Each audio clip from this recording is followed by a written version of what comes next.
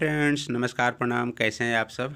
आप सब अच्छे होंगे? तो देखिए friends A B S two auto है डीजल ऑटो और फ्रेंड्स इसका प्रॉब्लम है कि देखिए आयल लीकेज हो रहा है यहाँ से और दूसरा कारण है फ्रेंड्स कि जब स्टार्ट इंजन को कर रहे हैं तो गाड़ी बहुत फटाक फटाक की आवाज़ कर रही है।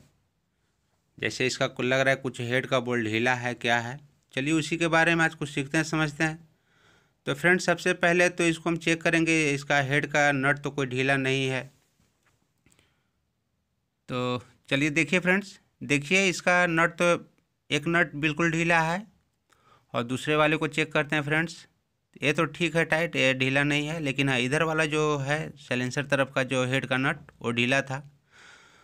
तो फ्रेंड्स, इसको अगर हम टाइट कर देंगे तो इंजन के अंदर में जो फटफट की जो आवाज़ आ रही है, वो तो बंद हो जाएगा। लेकिन इसका एक और जो कारण है आयल लीकेज का तो उसे आयल लीकेज को पूरा करने के लिए फ्रेंड्स, ये जो चिड़िया का जो रड है, उसके नीचे हमें सुलेसन देना होगा हेड का में। क्योंकि अगर उसे नहीं देंगे तो आयल लीकेज नहीं बंद होगा। तो फ्रेंड्स, इसको क्या करेंगे, चिड़िया को खोल करके, इसमें हम अच्छी तरह से सुलेशन को लगा करके इसके बाद हम रॉकर साफ्ट को असेंबल करेंगे ताकि मेरा जो आयल जो नीचे से लीकेज हो रहा है हेड के स्टड के पास से, वहाँ से आयल ना लीकेज हो। तो ऐसे लीकेज नहीं होता है। सुलेशन अगर नहीं भी देंगे, अगर टाइट भी करेंगे तो कोई दिक्कत नहीं करेगा फ्रेंड्स लेकिन हाँ फिर भी थोड़ा सा सस्पेंस बना रहेगा कि वहाँ से आयल लीकेज होगा कि नहीं होगा।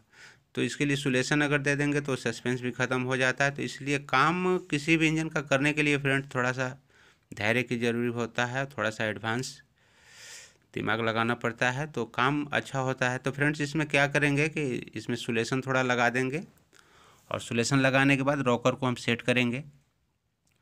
तो सुलेशन लगा करके फ्रेंड्स इसको रॉकर को हम सेट कर दिए हैं। रॉकर सेट करने के लिए इसको अच्छी तरह से बैठा करके हेड का नट टाइट कर देंगे। तो फ्रेंड्स पुसरड जो इसका होता है, आपका इनलेट का जो पुसरड रहेगा कैम फ्लावर अंदर वाला लगेगा रड और एग्जास्ट में बाहर वाला केम फ्लावर का रड लगेगा इसमें, चिड़िया में।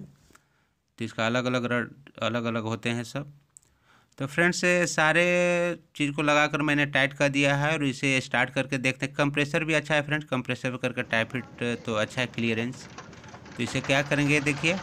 इसको मैंने स्टार्ट किया है तो साउंड जो फटफट की आवाज़ जो आ रही थी, फ़र्स्ट में वीडियो में आपने देखा, आवाज़ वो सुना था।